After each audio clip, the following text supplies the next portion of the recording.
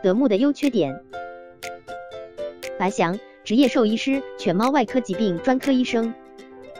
德牧犬非常聪明，别名德国黑背，受到了越来越多的人的喜爱。德牧的优点，首先从外貌上，德牧长得非常帅气，体型高大，外观威猛，行动矫健，而且对主人十分忠诚，遇到危险时不会躲避，第一时间选择保护主人。将德牧犬训练好的话，会一生忠于主人。其次，德牧犬智商非常的高，动作敏捷，服从性好，且具备极强的工作能力，主人训练起来会比较容易。再者，德牧的警觉性非常高，用来看家护院是一个很好的帮手，并且德牧不挑食。德牧的缺点，首先，德牧属于中大型犬，运动量大，精力旺盛，每天需要一定的运动量。